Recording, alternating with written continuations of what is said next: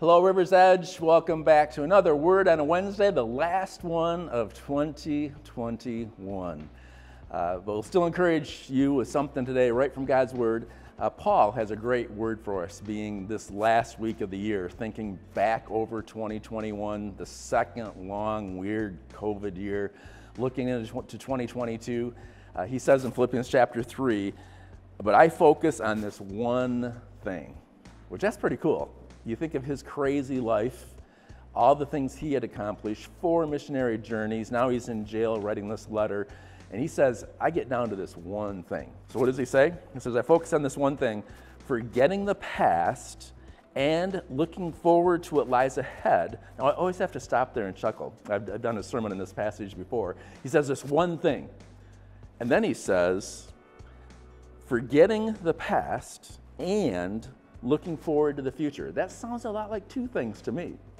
Uh, but it's his way of emphasizing the one thing, which is really the next phrase. He says, This one thing I do, pressing on, I press on to reach the end of the race. But to do that, he's just simply acknowledging it's not always that easy.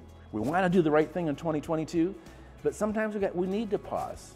We need to forget the past we need to look forward to the future with the commitment of I choose to follow Jesus. I press on for the prize. So let's take his advice. Just pause for a second. Can you forget the past? Probably something this past year wasn't great. He says, forget it. Now, I said maybe not as easy as it sounds, but we can pause and learn from the past. A mistake's only a failure if you fail to learn from it. So think past stuff that maybe you should be doing, could have done differently, and choose to do it differently in 2022. And then forgive the past once we've learned from it.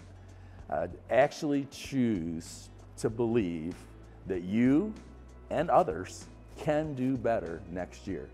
Don't get sucked down into the past and feel trapped there, stuck there. Choose to learn from it, then forgive it, and get on with it, looking forward, focusing on the future. What will 2022 bring? It's the first day of the rest of your life tomorrow. January 1st, the first day of the next year of your life. If you do everything the same, the results will probably be pretty similar. They say insanity is doing the same thing and expecting different results. So maybe honestly reflect. Use this verse this week. Look back, learn what you can, forgive it, get past it, and then focus on the future. What could you be? What could you do differently next year? Take a step in that direction. Really simply ask God sometime this week God, is there something you're trying to tell me? Something I could do differently, do better to connect more with you.